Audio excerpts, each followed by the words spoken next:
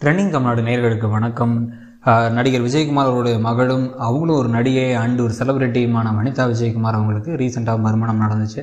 அது வந்து பீட்டர் பால் அப்படிங்கிற ஒருத்தரோட கல்யாணம் நடந்துச்சு. நடந்ததுக்கு பிறகு பார்த்தீங்க அப்படின்னா வந்து நிறைய சர்ச்சைகள் இருந்துச்சு இவ்வளோ பெரிய பொண்ணுங்க இருக்கும்போது இப்போ கல்யாணம் பண்ணிக்கலாமா அப்படின்னு கேட்டாங்க. ஆனால் வந்து அதனால என்ன? அது அது எனக்கு ஒரு செக்யூரிட்டி அண்ட் எனக்கு பிடிச்சிருக்கு அப்படின்னு அவங்க சொல்லிட்டு இருந்தாங்க. அதே சமயத்தில் அந்த- கல்யாணம் பண்ணிக்கிட்ட பீட்டர் பால் அப்படிங்கிறவருடைய மனைவி முன்னாள் மனைவி அவங்க என்ன சொன்னாங்கன்னா இன்னொரு விவாகரத்து பொ பொ வாங்கலை வாங்கலைங்கும்போது முன்னாள் மனைவின்னு சொல்ல முடியாது. எப்படி விவாகரத்தை வாங்காமல் கல்யாணம் பண்ணாங்க? அப்படின்னு சொல்லி சர்ச்சை எழுப்பினாங்க. இதுக்கப்புறம் இதுக்கு சப்போர்ட் பண்ண போய் கஸ்தூரி அதுக்கப்புறம் வந்து லட்சுமி ராமகிருஷ்ணன் இவங்க எல்லாருமே வந்து உள்ளார வந்து சண்டை போட்டது இது ஒரு பெரிய பிரச்சனையானதெல்லாம் எல்லாருக்கும் தெரியும். இந்த சமயத்தில் பார்த்தீங்க அப்படின்னா இப்போ ரீசெண்டாக பீட்டர்பால் அவர்களுக்கு நெஞ்சு வலி காரணமாக அவர் போரூர் ராமச்சந்திர ஹாஸ்பிட்டல் அவர் அட்மிட் பண்ணியிருக்காங்க அங்கே ட்ரீட்மெண்ட் கொடுத்துட்ருக்காங்க அப்படிங்கிறாங்க இதனால் நிறைய பேர் வந்து அதிர்ச்சி ஆகியிருக்காங்க முக்கியமாக வந்து கல்யாணம் முடிஞ்சு கொஞ்ச நாள் இப்படி நடந்தது வந்து வனிதா விஜயகுமார் அவங்களுக்கும் ரொம்ப ஒரு பெரிய ஷாக்காக இருக்கும். அதனால் வந்து சீக்கிரமாக அவர் குணமடைந்து வீட்டுக்கு வரட்டும் அப்படின்னு சொல்லிட்டு அவங்க எல்லாருமே காத்திருக்காங்க. சீக்கிரமாக குணமடைந்து வருவார் என்று நம்புகிறோம்.